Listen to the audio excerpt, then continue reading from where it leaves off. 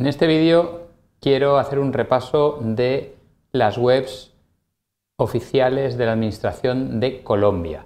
En principio, poniendo presidencia.gov.co nos sale la web de la Presidencia de Colombia. Se cambia la URL a esta que veis aquí y tenemos una web muy completa donde se habla del gobierno con el presidente, la vicepresidenta, los ministros, luego toda la estructura de presidencia de Colombia, tenemos también una página del presidente normativa con acceso a la Constitución de Colombia, actos legislativos, leyes, decretos. Luego una zona de prensa con noticias, una zona de atención a la ciudadanía con una parte de transparencia, convocatorias y consulta ciudadana para hacer sugerencias y peticiones, eh, acceso a trámites y servicios y a datos abiertos, donde podemos acceder a los datos abiertos que ofrece Colombia. Y luego para visitar la Casa de Nariño.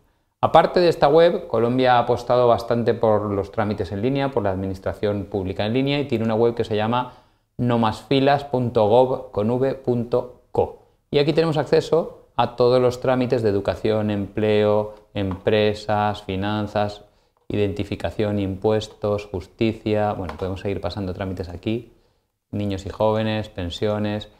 Ah, si pinchamos en qué es Nomasfilas, que lo tengo yo aquí abierto, pues nos dice que es una web para acceder a todos los trámites del gobierno colombiano de la forma más fácil posible. De hecho, tienen una sección de la web que se llama Reporta la fila, donde te dicen que si has tenido que hacer una cola para hacer un trámite, que lo reportes para que puedan intentar arreglarlo.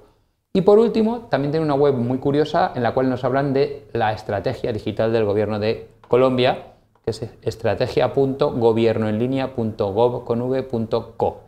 Y aquí pues tenemos gobierno digital, implementa qué normativas hay, eh, cómo se mide, eh, qué actos están haciendo para que puedas asistir también y una sección de ayudas. Con esto tenéis mucho para explorar sobre la administración en línea del gobierno de Colombia.